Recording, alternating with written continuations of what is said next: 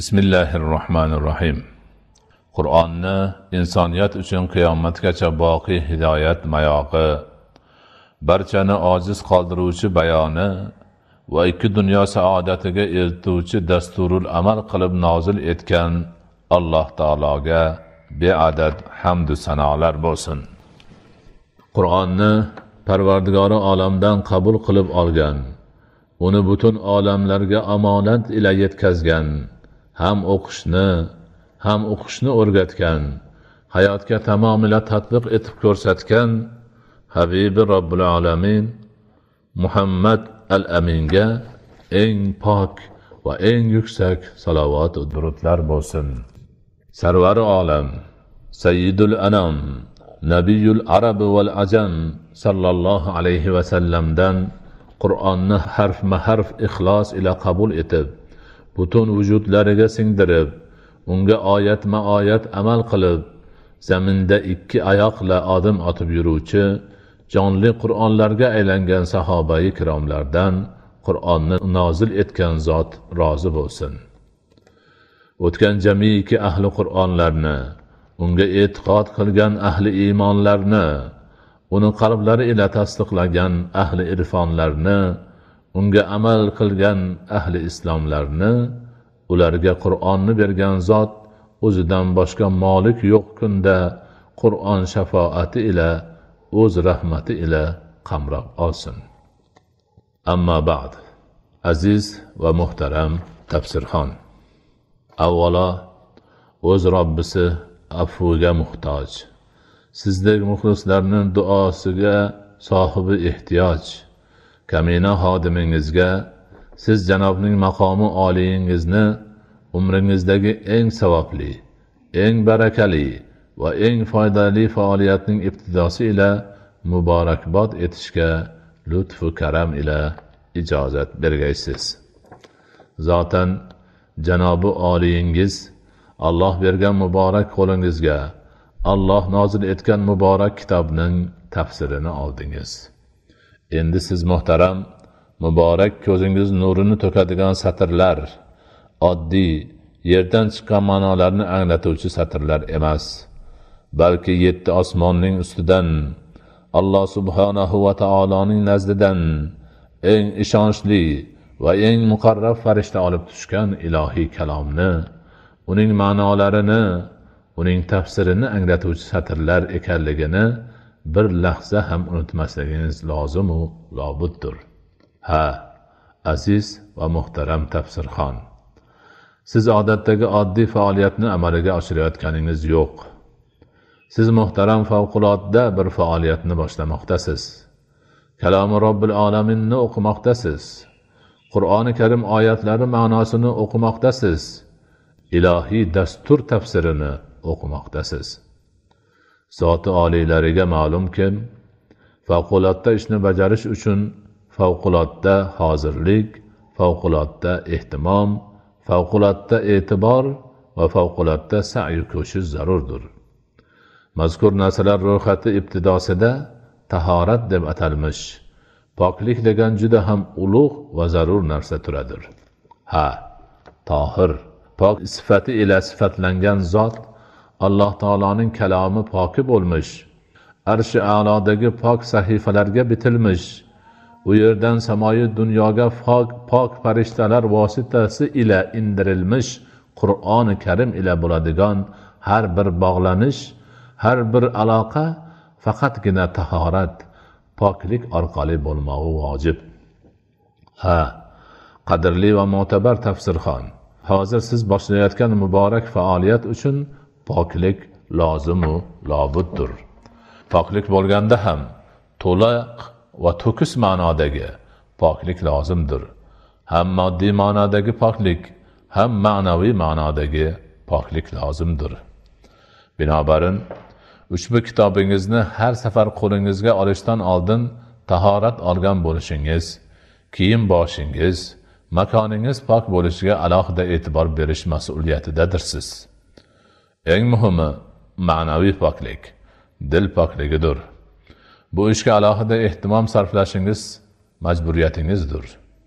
Chunki pok parvardigorning pok kalomini o'qish o'rganish o'qish singdirish uchun pok badan pok libos pok makon mavjudligi ila pok niyat pok qalb pok ong pok e'tiqod va pok ma'naviyat asosiy shartdir. Zotan pok narsani qabul qilib olish uchun pok joy kerakdir. Robbil alaminning o'zi kalomi poki haqida uni poklanganlardan o'zga tutmas deb qo'yibdi. Qur'oni karim allohning pok kalomi ekanligi haq. Agar bir banda mazkur kalomi pokni ixlos ila o'rganishga harakat qilsa albatta foyda topadi. Mabodo biror halal yetsa banda aybini o'zidan axtarsin. Aziz va muhtaram tafsirxon siz allohni kalomini o'qish o'rganish baxtiga noil bo'lmoqdasiz. Hozirgacha o'qib yurgan narsalaringiz bandalarning kalomi edi. Albatta allohning kalomi bilan bandaning kalomi orasidagi farq bo'lishi muqarrar. Ushbu muqarrar farq qanchalik deysizmi? Yaxshisi bu savolni birgalikda kalomullohni birinchi bor allohdan qabul qilib olgan inson allohning kalomiga birinchi ro'baro bo'lgan zot kalomullohni insoniyatga yetkazgan zot sevimli payg'ambarimiz muhammad mustafa sollallohu alayhi vasallamdan so'raylik. U zot sollallohu alayhi vasallam bu savolga imomi termiziy abu said al hudriy roziyallohu anhudan rivoyat qilgan hadislari ila kalomullohning boshqa kalamlardan fazli alloh taoloning maxluqotlaridan fazlichadir deb javob berurlar. Endi qanchalik ulug' ishga qo'l urayotganimizni anglab yetgan bo'lsak ajab ermas. Ha aziz tafsirxon siz bilan biz o'rganmoqchi bo'layotgan kalomullohning boshqa kalomlardan ortiqchaligi allohning bandadan qancha ortiqchaligi bo'lsa shuncha bordir. Ushbu ulkan haqiqatni tushunib yetganimizdan so'ng o'zimiz o'rganayotgan kalomi sharifning oliy maqomiga munosib bo'lmoqqa intilishimiz lozim. Hurmatli tafsirxon alloh taolo siz bilan bizga ushbu kitob orqali o'zining kalomi sharifiga oshno bo'lishni nasib etishi ila ulkan va benazir saodatni ato etdi. Siz bilan biz dunyodagi yakkayu yagona bir harfi ham o'zgarmay saqlanib kelayotgan alloh taoloni o'zi qiyomat qoyim bo'lguncha sof holida saqlashni zimmasiga olgan muqaddas kitobni o'rganish baxtiga muyassar bo'lmoqdamiz. Dunyoda qur'oni karimdan boshqa sof o'zgarish topmagan ilohiy samoviy kitob yo'q.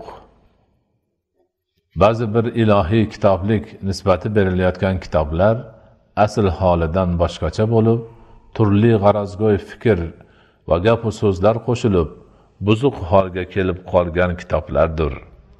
Agar mabodo ular buzilmay qolganda ham baribir qur'oni karim kelganidan so'ng mansuxdirlar. Binobarin siz bilan biz dunyodagi eng ulug' eng muqaddas eng pok eng barakali kitobni o'qiyotgan bo'lamiz. Aziz tafsirxon siz bilan biz oddiy kitobni o'qiyotganimiz yo'q. Siz bilan biz ilohiy kitobni o'qimoqdamiz. Shuning uchun ham bu qilayotgan ishimiz uchun sodiqul masduq sifatiga ega bo'lgan har bir gaplari sidiqdan iborat bo'lgan mahbub payg'ambar afandimiz muhammad mustafa sollallohu alayhi vasallamdan va'da etilmishdir.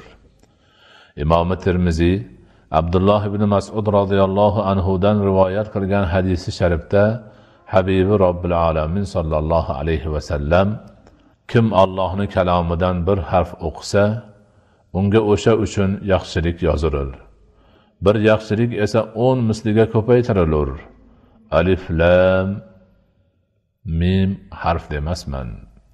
Lekin alif harfdir lom harfdir mim harfdir deganlar. Ko'rdingizmi azizim? Bir suraning boshida kelgan alif lam mim bir emas uch harfdir. Ularga bittadan uchta savob berilur so'ngra o'n mislicha ko'paytirilib o'ttizga yetkazilur. Bu va'da o'sha harflarni qiroat qilgan odamgadir. Ammo siz bilan biz ul muborak harflarni qiroat qilganimizdan so'ng ma'nolari tarjimasini undan so'ng esa tafsirini ularga amal qilishni ham o'rganamiz. Bu ishlar mukofotiga robbimiz subhanahu va taolodan beriladigan ajr savoblarni tushunib olsak bo'laveradi. Demak qo'limizdagi kitobimizning har bir harfini o'qishimiz uchun alohida savob olamiz. Ana shu baxtni g'animat bilmoq esa bizning burchimizdir. Siz muhtaram o'zingiz kalomullohning tafsirini o'qib o'tiribsiz lekin siz yolg'iz emassiz. Siz bilan birga o'zingizga biriktirilgan ikki farishta bordir. Qur'oni karim o'rganayotganingiz sharofati ila nozil bo'lmish sakina ham bordir. Sakina deganimiz ko'zga ko'rinmas bulut simon narsa bo'lib alloh taoloning maxluqotlaridandir. Unda xotirjamlik rahmat va sokinlik bo'lib u ila farishtalar hamroh bo'lurlar. Sakina ila qalb musaffo bo'lib nurga to'lishi uchun ham sakina nomini olgandir. Bu gaplar havodan olib aytilgan emas. Bu gaplar rasuli robbil alamin sollallohu alayhi vasallamning gaplaridir. Imom buxoriy imomi muslim imom termiziylar al baro roziyallohu anhudan rivoyat qiladilar.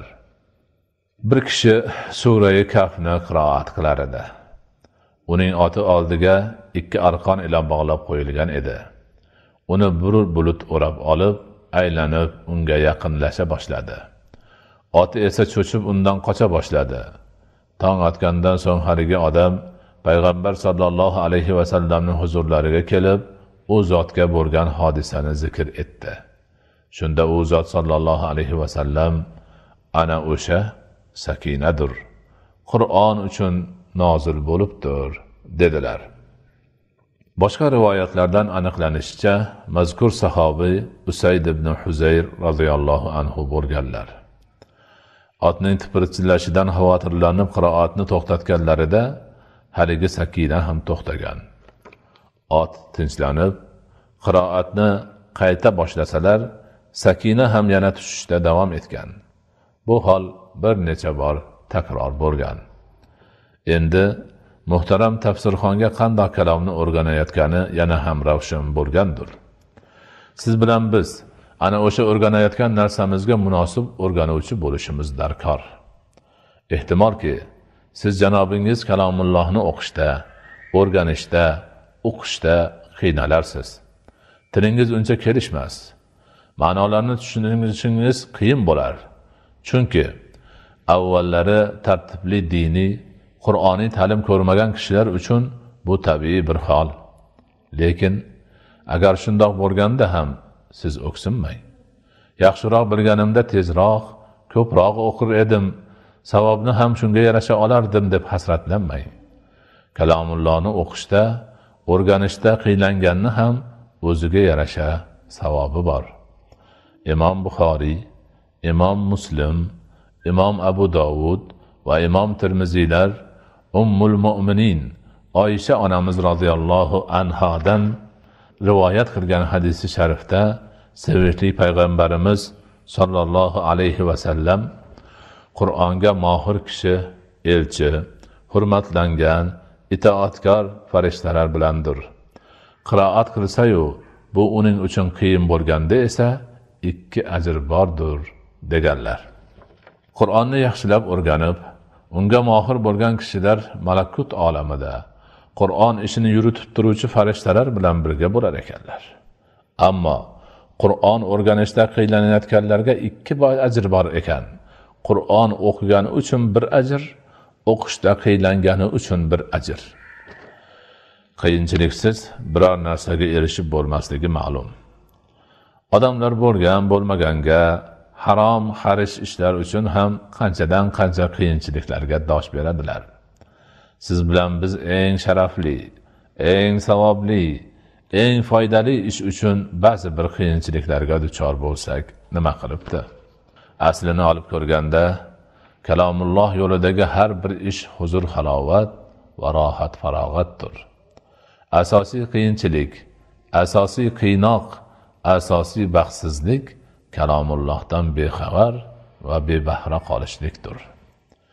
Imom termiziy abdulloh ibn abbos roziyallohu anhudan rivoyat qilgan hadisi sharifda rasuli akram sollallohu alayhi vasallam ichida qur'ondan biror narsa bo'lmagan kimsa xaroba uyga o'xshaydir deganlar. Alloh bundoq bo'lishdan o'zi asrasin. Demak siz bilan biz ushbu kitobimiz orqali o'rganayotgan har bir narsa ila qalb uyimiz iymon e'tiqod uyimiz ma'naviyat uyimiz obod bo'lib boradi. Ushbu baxtu saodat ham har kimga muyassar bo'lavermaydi. O'zimiz urinib kalomullohni o'rganish ila ajri savoblar berilishi sakina tushishi qalb uyimizning xarobarlikdan chiqib obod bo'lishi va yana shunga o'xshash ikki dunyomiz obodligi uchun ko'pgina narsalarga erishar ekanmiz. Bu muborak ishga iloji boricha ko'proq ixlos bilan urinmog'imiz darkor. Yana bilib qo'yishimiz lozim bo'lgan bir haqiqat bor. Bu haqiqat ham allohni kalomini o'rganish ila chambarchas bog'liq. Qur'oni karimni o'rganishni boshqalar bilan ko'pchilik bo'lib amalga oshirish ila mazkur harakat uchun beriladigan ajri savob xayru baraka va ulkan darajalar ham oshib boradi. Chunki qur'oni karim yolg'iz shaxslarga emas jamoatga atab nozil qilingan ilohiy dasturdir. Unga to'liq amal qilish faqat ko'pchilik bilangina zohir bo'lishi mumkin. Qolaversa ko'pchilikda baraka bor. O'qish o'rganish jarayonida birov mulohaza qilmagan narsani boshqasi mulohaza qilishi biri sezmagan xatoni ikkinchisi sezishi mumkin. Shuning uchun ham hadisi shariflarda ko'pchilik bo'lib qur'on o'qishga alohida ehtimom bilan targ'ib qilingan. Imom muslim va imomi abu dovudlar uqba ibn amir roziyallohu anhudan qilgan rivoyatda quyidagilar aytiladi. Biz suffada o'tirgan edik. Rasululloh sollallohu alayhi vasallam oldimizga chiqdilar va sizlardan qay biringiz har kuni ertalab butxonga yoki aqiqqa borib allohga gunoh qilmasdan va qarindoshlik aloqasini uzmasdan ikki katta o'rkachlik tuyani olib kelishni xohlaysiz dedilar. Ey allohning rasuli hammamiz buni xohlaymiz dedik bizlar. Shunda u zot albatta sizdan biringiz har kuni masjidga borib alloh azza va jallaning kitobidan ikki oyatni ta'lim olmoqligi uning uchun ikkita tuyadan yaxshiroqdir. Uchtasi uchtadan yaxshiroqdir. To'rttasi to'rttadan yaxshiroqdir. Oyatlarning adadi qancha bo'lsa o'shancha tuyadan yaxshiroqdir dedilar. O'sha paytda har bir arab uchun katta o'rkashli tuya qandoq katta boylik ekanligini uni halol pok yo'l bilan allohga gunoh qilmay qarindoshlar haqqini paymol qilmay topish qanday baxt ekanligini tushunib yetsak qur'oni karimni har bir oyatini o'rganish katta o'rkachli tuya topishdan ham yaxshiroq mul ekanini ahamiyatini tushunib yetgan bo'lamiz. Ha bizning muqaddas dinimiz islomda ilm o'rganish ayniqsa alloh taoloning kitobi bo'lmish qur'oni karimni tilovat qilish uni dars qilib o'qib tafsirini o'rganish ulug' ish hisoblanadi. Mazkur ishning qadr qiymati va ulug'vorligini ayniqsa ko'pchilik bo'lib o'rganish qadr qiymati va ulug'vorligini yana ham aniqroq tushunib yetmoq uchun mahbub payg'ambarimiz sarvari olam muhammad sollallohu alayhi vasallamning muborak so'zlariga quloq osaylik. U zoti va barakot imomi muslim va imom abu dovud abu hurayra roziyallohu anhudan rivoyat qilgan hadisi shariflarida quyidagilarni aytadilar. Kim talabi ilm yo'lida yursa alloh unga jannat yo'lini osonlashtirarur. Qaysi bir qavm allohning uylaridan bir uyda jam bo'lib allohning kitobini tilovat qilsalar uni o'zaro dars qilib o'rgansalar albatta ularning ustilaridan sakinat nozil bo'lur. Ularni rahmat qamrab olur ularni maloikalar qurshab olur va ularni olloh o'z huzuridagi kimsalar ichida zikr qilur. Ushbu hadisi sharifni tadabbur ila tafakkur qilib ko'raylik. Dunyoda allohni kitobini tilovat qilish uni dars qilib o'qish uchun jamlangan kishilardan ham baxtliroq saodatmanroq jamoa bormikin? Yo'q albatta. Shundoq ekan allohning kitobini o'rganish uchun jam bo'lganlar eng afzal bo'lmay kimlar afzal bo'lsin? Keling o'sha afzallik tafsilotlarini yuqoridagi hadisi sharif qamrovidan kelib chiqib o'rganaylik. Allohning kitobini tilovat qilish va uni o'zaro dars qilib o'rganish uchun jamlangan qavmga quyidagi hayrotlar nasib etar ekan. Birinchi ularning ustidan sakina nozil bo'lur. Sakinat xotirjamlik xayr baraka sokinlik va boshqa yaxshiliklardan iborat ekanligini u xuddi bulut kabi kalomullohni o'rganayotganlar ustidan nozil bo'lishini avval ham o'rganib o'tdik. Ushbu nodir fazilat boshqa xayrli ishlarni bajo qiluvchilar uchun va'da qilinmagan. Faqat qur'onni o'quvchilar uchun va'da qilingan. Ikkinchi ularni rahmat qamrab olur. Albatta allohning kalomini o'rganayotganlarni allohning rahmati qamrab oladi. Har bir bandaning robbisidan bo'lgan zarracha rahmatga qanchalar muhtoj ekanini e'tiborga oladigan bo'lsak qur'on o'rganish tufayli allohning rahmati ila qamralib qolgan baxtiyorlarning qanchalik martabaga noil bo'lganlarini tasavvur qilsak bo'laveradi. Bundoq ulug' darajaga ham faqat qur'on tilovati va uni dars qilib o'qish ya'ni tafsirini o'rganish bilangina erishish mumkin. Uchinchi ularni maloikalar qurshab olur. Farishtalar qandoq mukarram zotlar ekani hammaga ma'lum. Farishta bor joyda xayr baraka yaxshilik tinchlik omonlik fazilat va boshqa ko'plab ezguliklar bo'lur. Endi bir emas katta jamoa farishtalar o'rab turgan. Ularga havas bilan qarab turgan mo'minlar jamoasi qanchalik saodatmand ekanligini anglab olsak bo'laveradi. Ushbu misli yo'q oliy maqomga ham faqatgina qur'oni karimni tilovat qilish uning tafsirini o'rganish bilangina muyassar bo'linadi. To'rtinchi ularning alloh o'z huzuridagi kimsalar ichida zikr qilur. Allohning huzuridagi kimsalar kimligini alloh o'zi biladi. Ammo o'shalar bilan birga qur'on tilovat qilgan va uni dars qilib o'rgangan ya'ni tafsir bilan mashg'ul bo'lgan kishilarni ham zikr qilinishini biz ham bilamiz. Bu naqadar ulug' baxt bu naqadar buyuk saodat.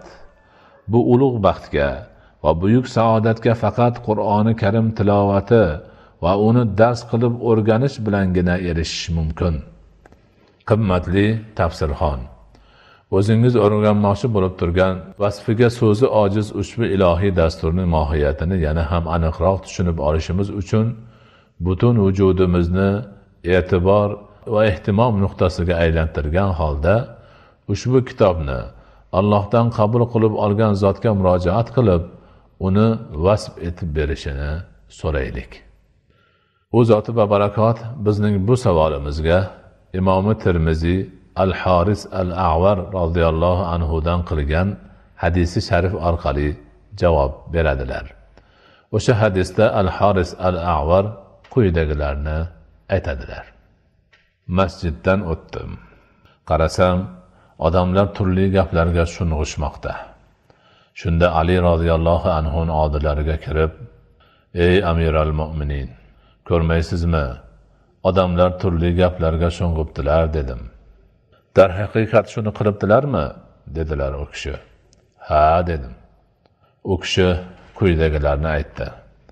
Ammo men rasululloh sollallohu alayhi vasallamning ogoh bo'lingiz kim? Albatta fitna bo'lur deganlarini eshitdim. Shunda undan chiqish ne ila bo'lur ey allohning rasuli dedim. Allohning kitobi ila. Unda sizdan oldin bo'lgan narsalarning axbori va sizdan keyingi narsalarning xabari va sizning orangizdagi narsalarning hukmi bor. U fosil qiluvchidir hazil emasdir. Kim bir jabbordan qo'rqib uni tark qilsa alloh uning umurqasini sindirur.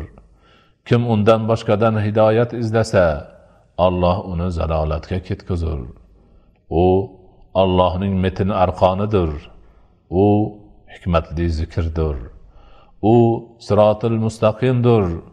U uning ila havoyi nafslar toymaydigan. U uning ila tillar tutilmaydigan. U ulamolar undan to'ymaydigan. U ko'p tarqalish ila eskirmaydigan va ajoyibotlari tugamaydigan narsadir. U jinlar uni eshitishlari bilan darhol albatta biz ajib qur'onni eshitdik. U rushtga hidoyat qilur degan narsadir. Kim u bilan gapirsa sodiq bo'lur. Kim unga amal qilsa ajr olur. Kim uning ila hukm qilsa adolat qilur. Kim uning ila da'vat qilsa siroti mustaqimga hidoyat qilinur. Mana bularni olgin ey avar dedilar.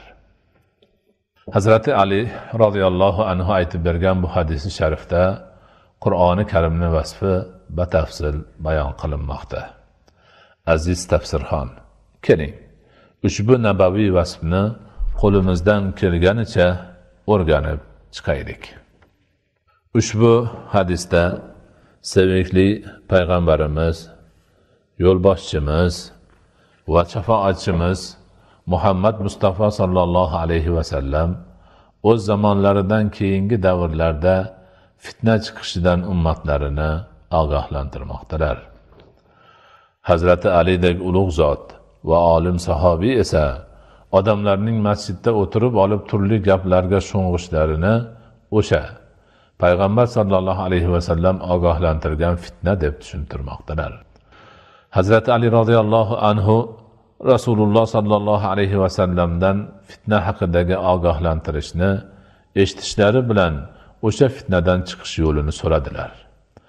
U kishi bir marta muhtoj bo'lsalar bugungi kunda siz bilan biz bu yo'lga yuz million marta muhtojmiz.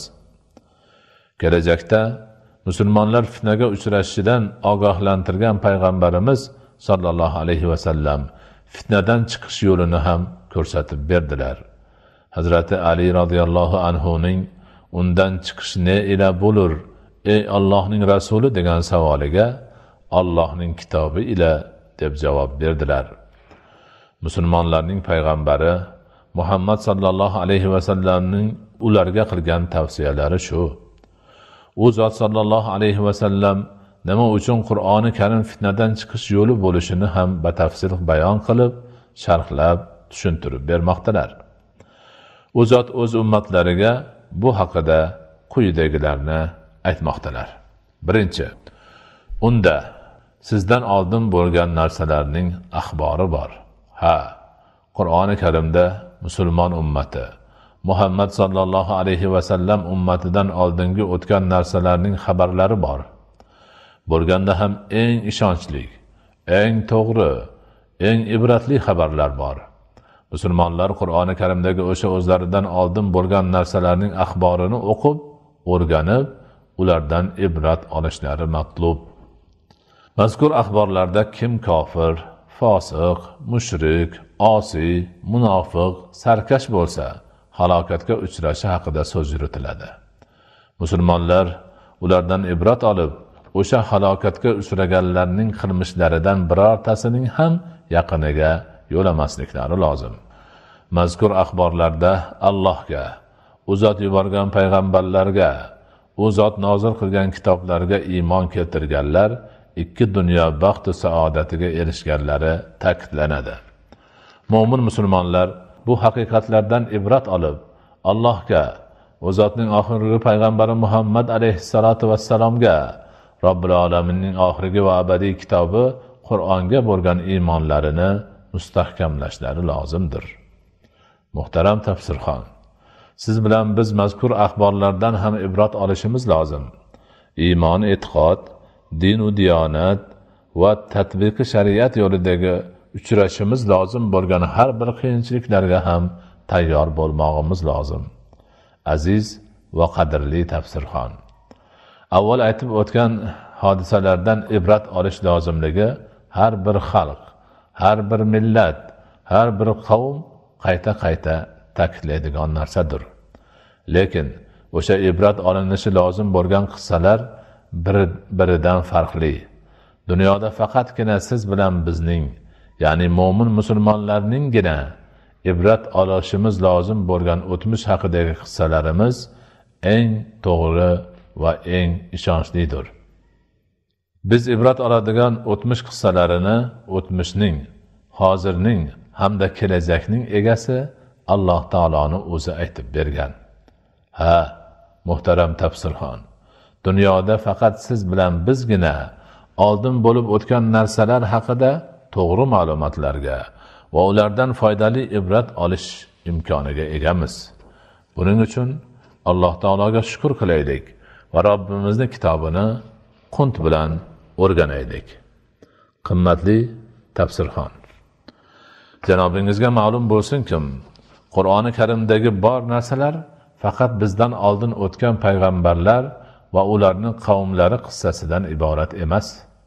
Mazkur axborlar ichida alloh taolo butun borliqni yo'qdan bor qilib yaratgani butun mavjudotlarni yaratgani odamni o'z qo'li bilan yaratib uni o'zining yer yuzidagi o'rinbosari qilib qo'ygani odamdan uning juftini yaratgani odam alayhissalom bilan shayton alayhillani o'rtasida bo'lib o'tgan mojarolar va yana boshqa ko'pgina narsalar ham bor.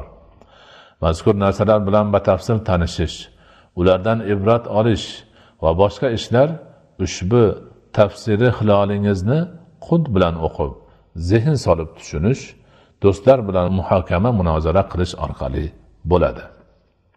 Ikkinchi unda sizdan keyingi narsalarning xabari bor. Qur'oni karimdagi bizdan ummati muhammadiyadan keyingi narsalar xabari qiyomat qoyim bo'lishi hamma o'lganlar qayta tirilishi mahsharga to'planishi bu dunyoda qilgan ishlari zarracha ham qoldirilmay hisob kitob qilinishi iymon keltirib amali solih qilganlar xursand kufr keltirganlar va fisqu fujur qilganlar xafa bo'lishi mezon ko'prik jannat va do'zax hamda shunga o'xshash boshqa xabarlardir. Bu xabarlarga iymon keltirish mo'min musulmon shaxs uchun iymonning arkonlaridan bir rukundir. Mazkur xabarni qur'oni karimda zikr qilinishi ularni iymon rukunlaridan biriga aylantirilishidan maqsad kishilarni iymon islomga chaqirishdir. Allohning kalomidan qiyomat va unga tegishli narsalar haqida ma'lumot olgan unga iymon keltirgan kishi o'sha kunga tayyorgarlik ko'rib yashashga o'tadi. Mo'min holida olloh buyurgan hamma narsalarga og'ishmay amal qiladi va olloh qaytargan hamma narsalardan qaytadi. Ha muhtaram dindoshim faqat siz bilan biz musulmonlargina o'zimizni oldinda nimalar kutayotganini bilamiz. Ularga iymon keltiramiz va hozirdan tayyorgarligimizni ko'rib boramiz. Bu ishda bizga qur'oni karim yordamchi bo'ladi. Biz bu bilan qanchalar faxrlansak oz. Uchinchi va sizning orangizdagi narsalarning hukmi bor. Ha qur'oni karimda siz bilan biz musulmonlarning oramizdagi barcha narsalarning hukmi bordir. O'sha narsalar haqida hukmni yo'l yo'riqlari qonun qoidalari bordir. Demak siz bilan biz tafsili hilol orqali allohning kalomini o'rganar ekanmiz. Aynan o'sha oliy maqom ishni amaliyotga oshirayotgan bo'lamiz. To'rtinchi u fosil qiluvchidir hazil emasdir. Ha sodiqul masduq sifati sohibi bo'lmish muhammad as sodiq laqabini olmish rostgo'y payg'ambarimiz muhammad sollallohu alayhi vasallam o'zlarining bu gaplarida ham sodiq rostgo'ydirlar. Zotan robbil olaminni o'zi ham toriq surasida kalomi sharifni vasf qila turib innahu laqavlun fasl va ma huwa bil hazl. Ya'ni albatta u fosil qiluvchidir u hazil emasdir deb marhamat qilgan. Qur'oni karimni fosil qiluvchiligi ajratuvchiligi haqiqiydir. U har bir narsani ajratib ajratib ko'rsatib bergan. Jumladan haqni botildan yaxshini yomondan foydani zarardan halolni haromdan savobni gunohdan mo'minni kofirdan muxlisni munofiqdan ajratib qo'ygandir. Ana o'sha ajrimlarni oddiy ajrim emas ilohiy qur'oniy ajrimlarni bilib olishimiz uchun qur'oni karimni yaxshilab zehn va ixlos ila o'rganmog'imiz zarurdir. Ha qur'on hazil emas. Unda birorta ham befoyda kam ma'no hikmatsiz so'z yo'q. Qur'oni karimdagi har bir so'z o'ta jiddiy o'ta foydali o'ta furmano va o'ta hikmatlidir. Siz bilan biz allohni kalomini o'rganar ekanmiz. Ushbu haqiqatlarni ham doimo yodimizda tutmog'imiz lozimdir. Ana shunda o'rganayotgan narsamizning qadr qiymatini o'z joyiga qo'ygan bo'lamiz. Beshinchi kim bir jabbordan qo'rqib uni tark qilsa olloh uning umurqasini sindiradi. Ya'ni kim biror tomonning jabri zulmidan qo'rqib qur'oni karimni tark qilsa alloh taolo o'sha qur'onni tark qiluvchini umurtqa pog'onasini sindirib hech narsaga yaramay qimirlamay yot olmasdan yotadigan qilib qo'yadi. Bu albatta majoziy ma'nodagi gapdir. Biror jabbordan qo'rqib qur'onni tark qilganlarni bellaridagi umurtqa suyaklari sinib yotib qolmaydilar. Balki ular bu dunyoyu u dunyo ishlarida ularni to'g'ri yo'lga boshlab bellariga quvvat bo'ladigan omildan ajragan bo'ladilar. Oltinchi kim undan boshqadan hidoyat izlasa alloh uni zalolatga ketkazadi qur'oni karim bandalarni ikki dunyo saodatiga boshlovchi ilohiy hidoyatdir. Alloh taoloni o'zi bir qancha oyatlarda qur'on barcha olamlar uchun hidoyat ekanligini qayta qayta ta'kidlab aytgan. Buni boshqalar bilmasa ham musulmonlar yaxshi biladi. Bundoq ulkan haqiqatni bilib turib qur'on allohning hidoyati ekanligini anglab turib undan boshqadan hidoyat izlash sog'lom aqlga mutlaqo to'g'ri kelmaydi. Yetti u allohning metin arqonidir. Inson hayotning asov daryosidan najot qirg'og'iga eson omon chiqib olmog'i uchun biror arqonga osilmog'i lozim. Ana o'sha najot arqoni alloh taoloning metin arqonidir. Bu metin arqon hech qachon uzilmaydi hech qachon pand bermaydi. Kim unga osilsa hayot daryosini har qanday asovligidan xavf xatardan o'tib najot qirg'og'iga eson omon chiqishi turgan gap. Ha qur'on allohning metin arqonidir. Sakkizinchi u hikmatli zikrdir. Hikmatni ma'nosi har bir narsani o'z joyiga qo'yish bayon qilishdir. Zikr esa eslatma ma'nosidadir. Qur'oni karim alloh taolo tomonidan joriy qilingan hikmatli zikrdir. Undagi zikrni hammasi o'ta hikmatlidir. Odamlar bu dunyoda hikmatga ehtiyojli bo'lib yuradilar. Hikmatli gap so'zlarni o'qib o'rganib eshitib yodlab yana boshqa ishlar ham qilib yuradilar.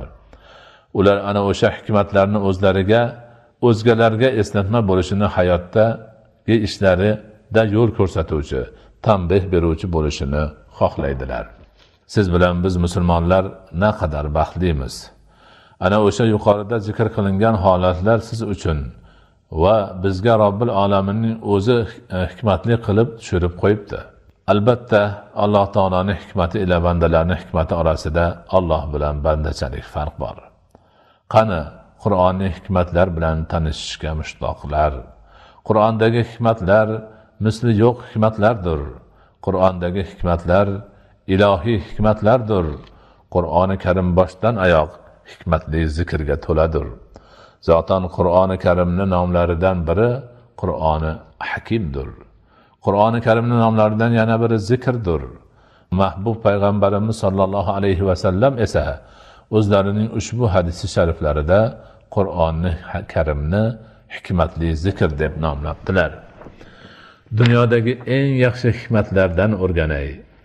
Ulardan o'rnak olay ularga amal qilay degan odam bo'lsa qur'oni karimni yaxshilab o'rgansin. Dunyodagi eng yaxshi eslatmadan o'rganay undan o'rnak olay unga amal qilay degan odam bo'lsa qur'oni karimni o'rgansin. Hurmatli tafsirxon tafsir hilolni o'qib o'rganish ila biz dunyodagi eng yaxshi hikmatli zikrni o'rganayotganimizni unutmaylik. To'qqizinchi u sirotil mustaqimdir.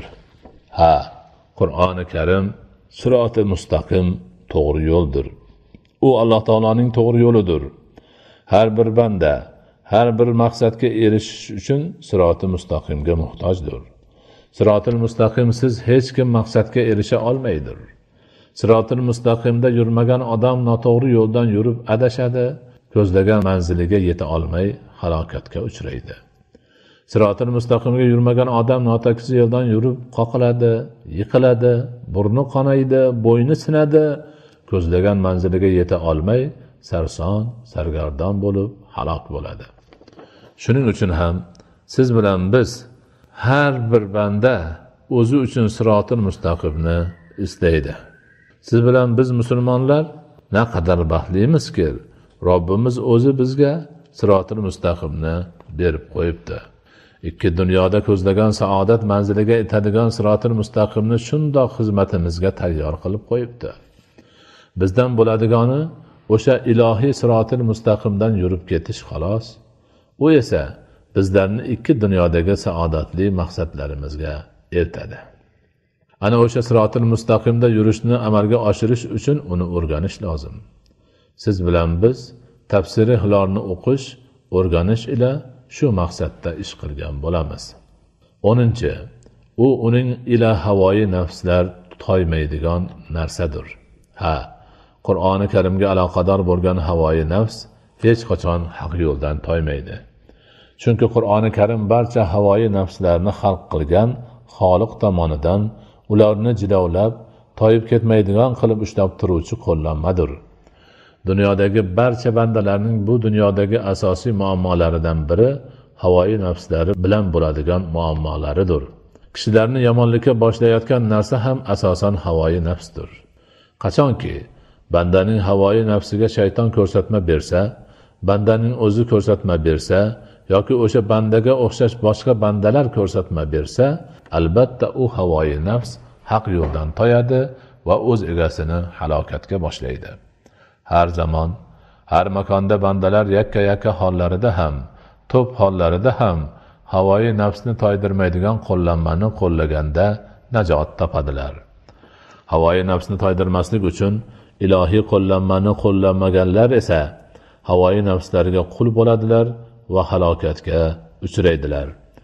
Alloh taolo bandalariga rahm qilib ularga havoyi nafslarini toydirmay ushlab turadigan qur'oni karimni berib qo'ygan. Ana o'sha ilohiy qo'llanmani yaxshilab o'rganib unga og'ishmay amal qilgan kishining havoyi nafsi toymaydi. Siz bilan bizning tafsiri hilolni o'rganishimiz ham ana shu maqsaddagi bir qadamdir. O'n birinchi u uning ila tillar irtibosga tushmaydigan narsadir. Ha qur'oni karim ila tillar hech qachon irtibosga tushmas. Ya'ni boshqa narsalar bilan aralashib ketib qaysi biri haq qaysi biri nohaq bo'lib qolib iltibosga tushilmaydi. Qur'oni karim bilan bo'lgan til hech ikkilanmasdan haqni gapiryapman deyaveradi. Qur'ondan boshqa narsa aralashdimi? Darhol iltibosga tushadi.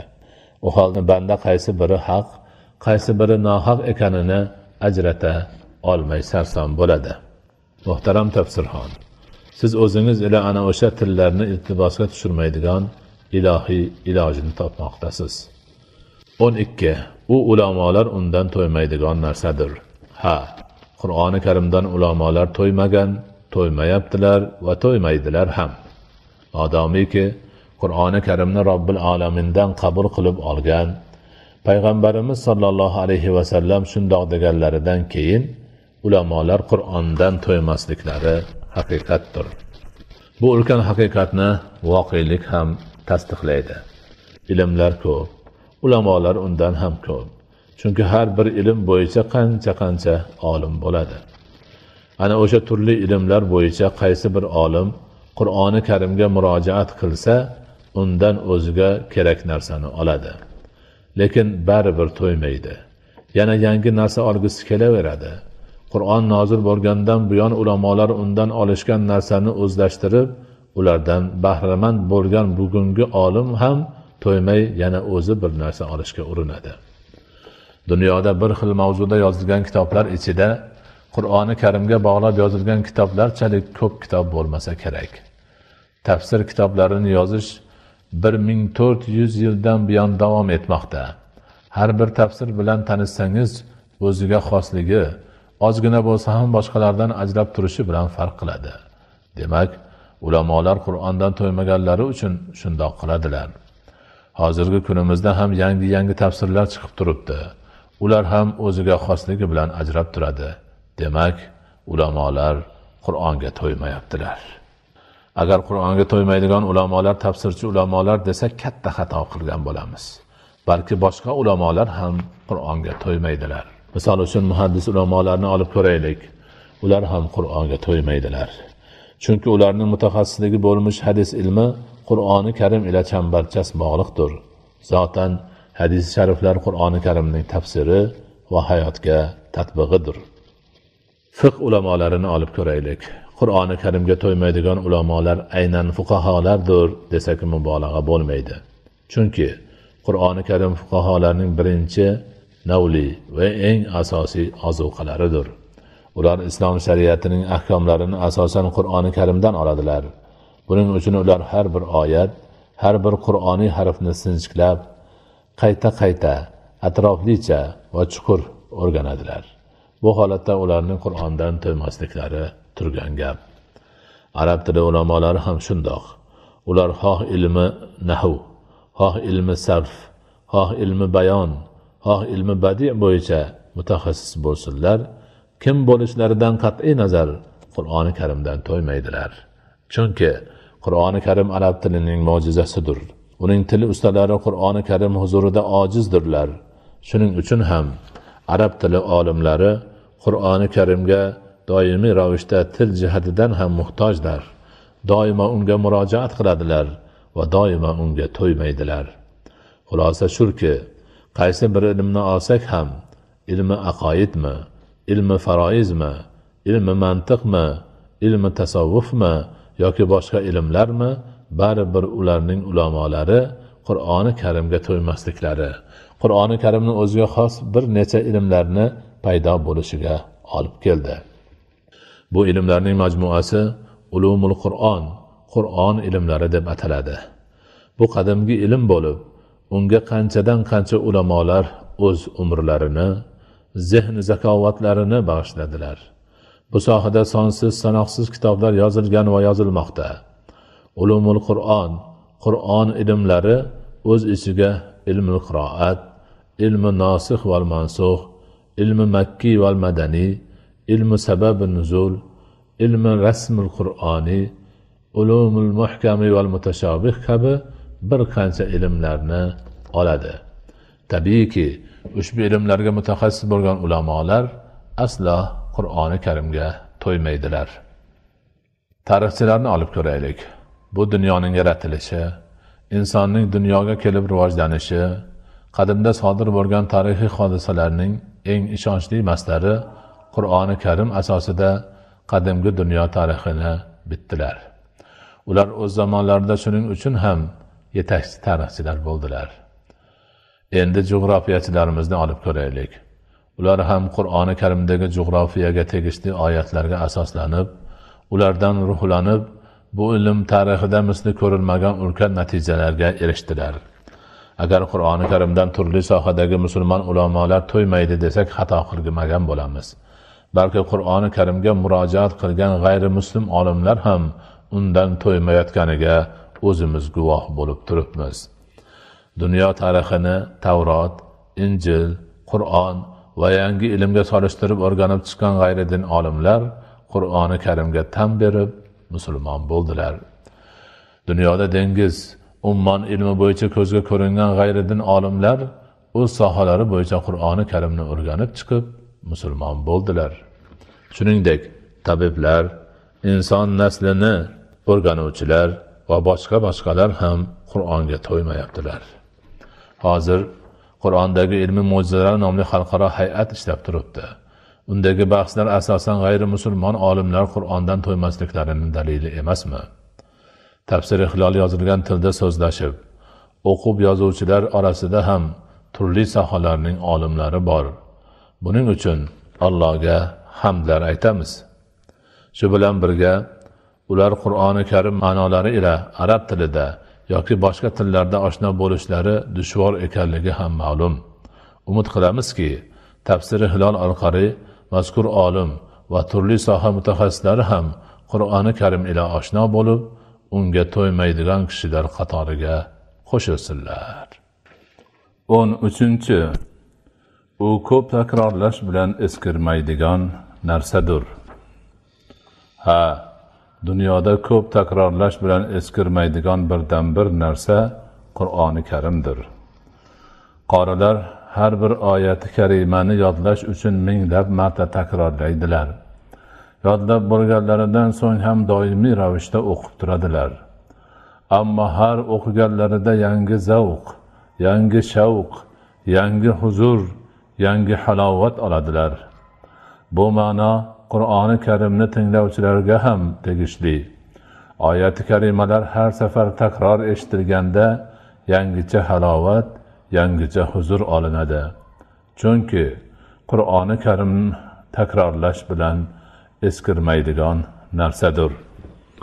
Imomi termiziy abdulloh ibn abbos roziyallohu anhudan rivoyat qilgan hadisda quyidagilar aytiladi. Bir kishi ey allohning rasuli qaysi amal allohga mahbubroq deb so'radi. U zot yetish bilan jo'novchilik dedilar. Yetish bilan jo'novchilik nima? dedi. Qur'onni avvalidan oxirigacha o'qib borib yetishi bilan yana jo'naydigan dedilar. Ha azizlar farz amallardan keyin allohga qurbat hosil qilish uchun eng afzal ibodat qur'on o'qish qur'on o'rganishdir. Ha ana shundoq narsani bilmog'imiz lozimdir.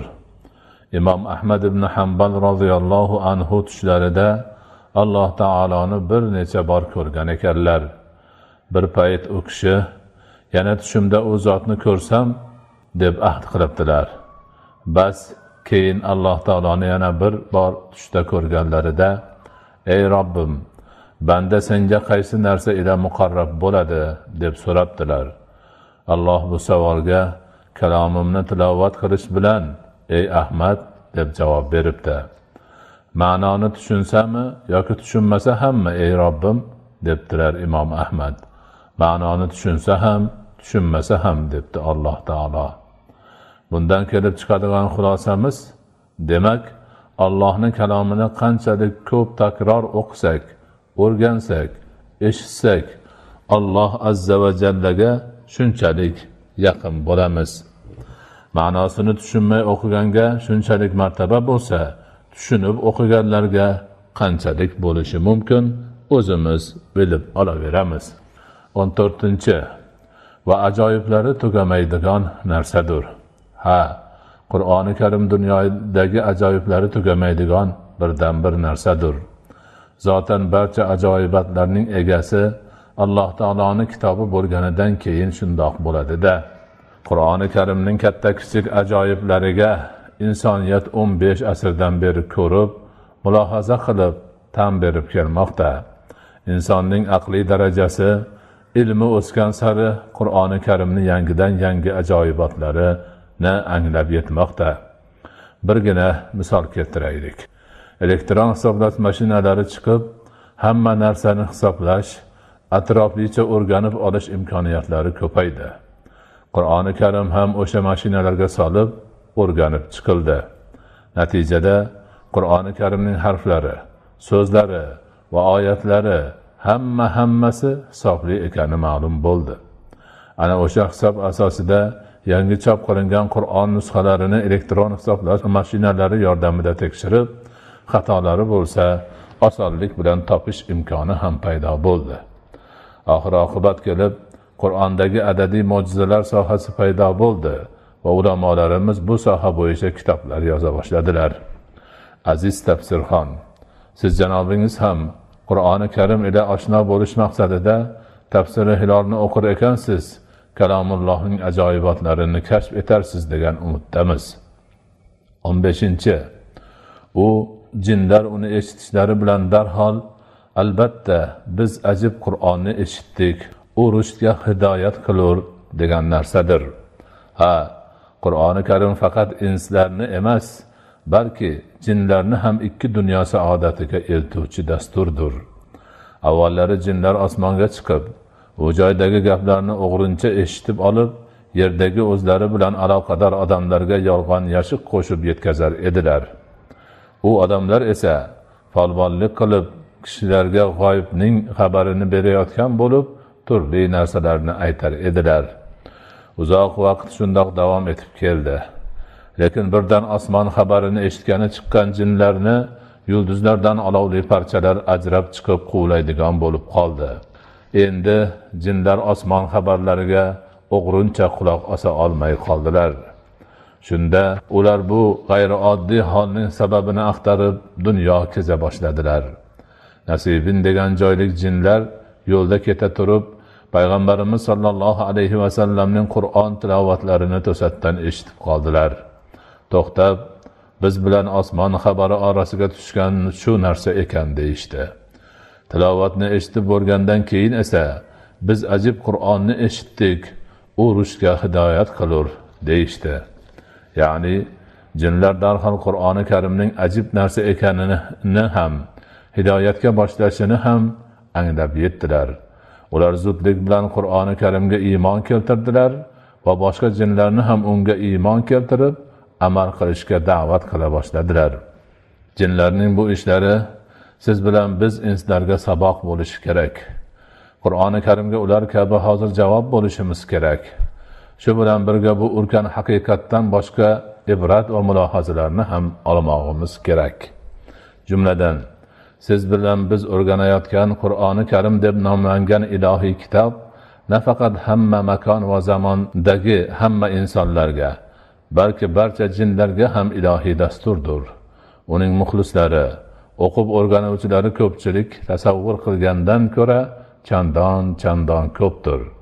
Siz bilan biz o'sha ko'pchilikni biri ekanimiz bilan har qancha faxrlansak shuncha ozdir. O'n olti. Kim u bilan gapirsa sodiq bo'lur. Ha qur'oni karim allohning kalomi. Alloh taolo esa kalomida sodiq zotdir. Shuning uchun kim qur'on bilan gapirsa u odam gapida sodiq bo'ladir. Allohni gapini gapirgan sodiq bo'lmay kim ham sodiq bo'lar edi? Ha aziz tafsirxon siz bilan biz kalomullohni o'rganar ekanmiz. O'zimiz uchun eng oliy maqom eng sodiq gaplar xazinasini o'rganayotgan bo'lamiz. Ushbu ilohiy dasturdan olib gapirgan gapimiz eng sodiq gap bo'ladi. Barcha gapimiz qur'on ila gapiriladigan bo'lishi uchun harakat qilishimiz kerak. Buning uchun esa bizga tafsiri hilol yordam beradi. Aziz va muhtaram tafsirxon o'ylab ko'ring siz bilan biz naqadar xushbaxt bandalarmiz. Alloh taoloni gapini gapirib eng sodiq gap egasi bo'lish baxtiga erishishimiz mumkin. Buning uchun tayyor narsani o'rganib olsak bo'ladi.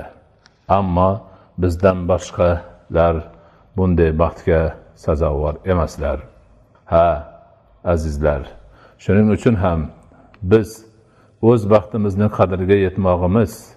Bizga bu baxtni bergan zotga tinimsiz shukur qilgan holda o'z baxtimiz mayog'i qur'oni karimni ko'proq o'rganmog'imiz. Har bir gapimiz undagi gaplar ila gapirilishi uchun qattiq harakat qilmog'imiz zarur.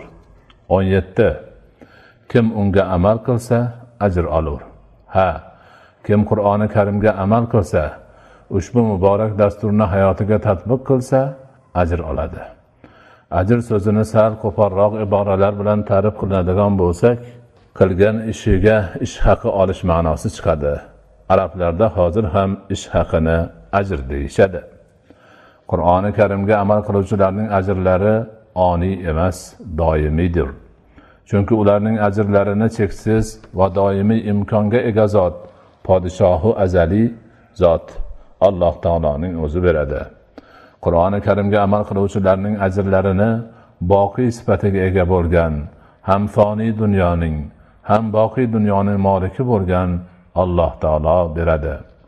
Imomi termiziy hazrati ali roziyallohu anhudan rivoyat qilgan hadisi sharifda payg'ambarimiz sollallohu alayhi vasallam kim qur'onni qiroat qilsa uni yodlab olsa halolini halol qilsa haromini harom qilsa alloh o'sha odamni u bilan jannatga kiritadi va do'zaxga kirishi vojib bo'lgan qarindoshlaridan o'ntasiga shafoatchi qiladi deganlar.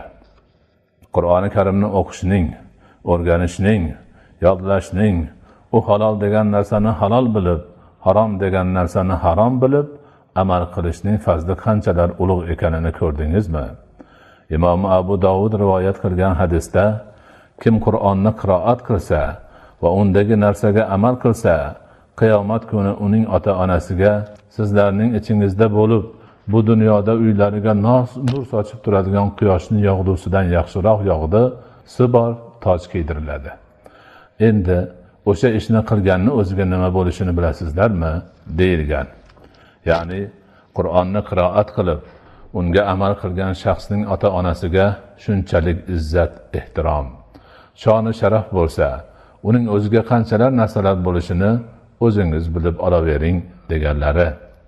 Demak aziz dindoshim agar dunyoga kelishimga sabab bo'lgan meni tarbiyalab voyaga yetkazgan ko'plab xizmatimlarni qilgan mushfiqi mehribon ota onalarim qiyomat kuni hammaning huzurida vasfiga til ojiz taxtlarga o'tkazilib boshlariga quyoshning yog'dusidan yaxshiroq yog'dusi bor tojlar kiydirilsin. Ularning bu izzat ikromiga sazovor bo'lganlarini ko'rib hamma havas qilsin desak qur'oni karimni o'qib unga amal qilaylik. Agar o'zimiz ham o'shandoq martabaga erishaylik desak aziz farzandlarimizga qur'onni o'qitib unga amal qilishni o'rgataylik. Undan ham yuqori martabaga erishaylik desak hammamiz qur'onni o'qib o'rganib unga amal qilaylik. Qur'oni karimni ma'nolarini tushunmay turib unga amal qilishimiz qiyin. Bu ishda esa tafsiri hilol bizga yordamchi bo'lishini alloh taolodan so'raylik. O'n sakkizinchi. Kim uning ila hukm qilsa adolat qilir ha qur'oni karim ila hukm qilgangina adolat qilishi mumkin. Qur'oni karimdan boshqa narsa bilan hukm qilgan esa hech qachon adolat qila olmaydi. O'n to'qqiz. Kim uning ila da'vat qilsa siroti mustaqimga hidoyat qilinur. Ha kim odamlarni sirotul mustaqimga eng to'g'ri yo'lga da'vat qilmoqchi bo'lsa qur'oni karimga da'vat qilmog'i kerak. Qur'oni karimdan boshqaga da'vat qilishdan hech qanday foyda yo'q. Qur'oni karimni esa alloh taolo sirotil mustaqim qilib yetti osmon ustidan tushirgandir. Ana shundoq oliy maqomdan tushgan narsa nafaqat yerni balki butun olamlarning to'g'ri yo'lini o'zida mujassam qilgan bo'ladi. Ana shundoq oliy maqomdan tushgan narsa o'ziga e'tiqod va amal qilganlarni eng yuksak martabalarga olib chiqadi. Ushbu gaplarimiz haq ekanligini isbotlash uchun nazariy fikriy dalillar hattoki qur'oni karim oyatlaridan yoki payg'ambarimiz sollallohu alayhi vasallamning hadislaridan ham dalillar keltirmoqchi emasmiz. Modomiki gap voqelik haqida ketar ekan biz ham o'z davomizning haq ekanligiga voqelikdan dalil keltiramiz.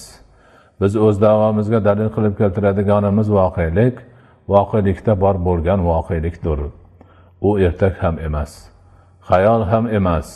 Balki do'sti dushman ko'rgan do'sti dushman guvoh bo'lgan do'sti dushman e'tirof qilgan voqelikdir.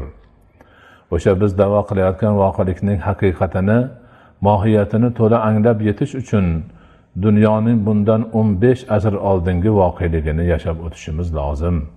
Ha xayoldan o'tkazish eslash zikr qilish emas butun vujud bilan yashash lozim. Keling o'sha voqelikni birga yashaylik. O'sha paytda butun jahon johiliy hayot kechirar edi. Insoniyat boshdan oyoq jaholat botqog'iga botgan edi. Kishilarning barchasi bo'lgan bo'lmagan buzuq va aslsiz aqidalarga e'tiqod qilar edi. Ularning oilaviy ijtimoiy iqtisodiy va madaniy hayotlarida jabr sitam zulmu nohaqlik hukm surar edi. Qo'yingki inson hayotining har bir sohasida razolat haqsizlik jaholat hukmron edi. Insoniyat johiliyatning quyuq zulmatida qattiq g'aflat uyqusida yotar edi. Ana shundoq quyuq zulmat mog'or bosgan qalblar uxlagan bir paytda faqatgina bir insonning mog'or bosmagan pok qalbi uyg'oq edi. O'sha yagona uyg'oq qalb mavjud vaziyatdan norozi bo'lib mazkur qorong'ulikdan nurga chiqish yo'lini axtarar edi.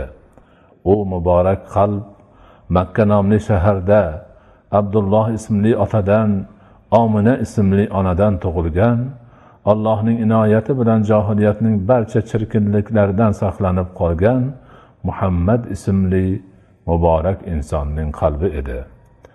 Mazkur yagona pok qalb egasi johiliyat zulmatidagi nohaqlik fisqi fujur va boshqa nomaqulchiliklardan chetlanib makka shahri chetidagi tog'dagi hiro nomli g'orga kirib o'tirar. Va insoniyat qandoq qilib johiliyat zulmatidan nurga chiqishi mumkin deb fikr yuritar edilar. U zot shu tariqa bo'lajak ulkan hodisalarga o'zlari bilmagan holda tayyorlanar edilar. Ayni o'sha paytda insoniyatni o'z qo'li bilan yaratib uni go'dakligidan turli sarkashliklariga injiqliklariga va xatoyu adashishlariga qaramay payg'ambarlar yuborib kitoblar nozil qilib tarbiyalab olib kelayotgan alloh taolo insoniyatning navbatdagi va eng katta adashuvidan keyin unga eng oxirgi payg'ambarni yuborishni eng so'nggi kitobni nozil qilishni va eng so'nggi mukammal va doimiy shariatni joriy qilishni iroda qilgan payti kelgan edi. Muhammad sollallohu alayhi vasallam bir kuni g'ori hironing og'ziga chiqishlari bilan iqro o'qi degan guldiros ovozni eshitdilar. Ana o'sha ovoz johiliyat zulmatini parchalash uchun alloh taolo tomonidan tushirilgan so'nmas yog'duning birinchi shu'lasi qur'oni karimning birinchi oyati edi. Bu shu'la dunyodagi yagona pok qalbni yoritdi. Keyin esa yangidan yangi shu'lalar chiqib yog'du mukammallashib bordi. Ey o'ranib yotuvchi kechasi qoyim bo'l. Ey o'ranib yotuvchi tur bas ogohlantir degan xitoblar bo'ldi. Endi mazkur yagona pok qalb qur'on yog'dusi bilan yorishgan yagona qalbga aylandi. Endi o'sha yagona pok va ilohiy yog'du ila yorishgan qalb egasi o'z robbisi amri ila yagona o'zi butun dunyoni pok qalbli qilish uchun ilohiy yog'dudan bahramand bo'lishga da'vat qilish uchun bel bog'ladi. Asta sekin allohning inoyati ila mazkur ilohiy yog'du qur'oniy yog'du boshqa qalblarni ham yorita boshladi. Yer yuzida astalik bilan bo'lsa ham qiyinchilik bilan bo'lsa ham johiliyat zulmatini qur'on yog'dusi yorib chiqa boshladi. Kishilar ichida qalb qur'on nuri bilan munavvar bo'lganlar ko'paya bordi. Albatta uzoq muddat zulmatda qolgan kofirlar yog'duni tinchlikni buzib bezovta qiluvchi narsa deb tushunadilar. Shu boisdan ham ular unga qarshi chiqadilar. Ular yog'duni iloji boricha to'sishga harakat qiladilar. Biz o'rganayotgan voqelikda ham shundoq bo'ldi. Johiliyat zulmatiga o'ranib qolgan insonlar qur'on yog'dusini o'z oromlarini buzuvchi narsa deb bildilar. Uning tarqamasligi uchun qo'llaridan kelganu kelmagan barcha choralarni ko'rdilar. Ular qur'on yog'dusini ul yog'dudan bahramand bo'lganlarni butunlay yo'q qilib tashlash uchun harakat qildilar. Lekin alloh kofirlar yoqtirmasa ham o'z nurini batamom qiluvchi zotdir. Asta sekin allohning inoyati va aralashuvi ila nafaqat insonlarning qalblari balki butun vujudlari qur'on yog'dusi ila yorishdi. Keyin esa ularning butun hayotlari o'sha yog'du bilan yorishish jarayoni boshlandi. Qalblari qur'on yog'dusi ila munavvar bo'lgan har bir narsani qur'on yog'dusi ila ko'radigan har bir ishni qur'on yog'dusida qiladigan payg'ambar sollallohu alayhi vasallam va u kishini sahobai ikromlari yer yuzida ikki oyoqlari bilan yuradigan tirik qur'onlarga aylandilar. Qur'on yog'dusi ila yorishgan birgina qalb egasi allohning amri ila boshlagan bu harakat allohning madadi ila yakka shaxslarga oilalarga tarqab bordi qur'on yog'dusida turmush kechiradigan xalqlar va yurtlar soni ko'payib bordi. Turli xalqlar o'zlariga qur'on ta'limotlarini olib kirgan kishilarni ularning oliy maqom axloq odoblari va sifatlarini ko'riboq ahli qur'onlar qatoriga qo'shila boshladilar. Ular butun dunyoga ustoz bo'ldilar butun dunyoda peshqadam bo'ldilar. Ular eng ilg'or eng taraqqiy etgan eng baxtli eng tinch eng boy eng sog' eng ilmli eng madaniyatli eng kuchli eng adolatli eng oliy axloqli insonlar sifatida maydonga chiqdilar. Alloh subhanahu va taolo bizlarni ham o'shalarni qatoridan bo'lishimizni nasib qilgan bo'lsin.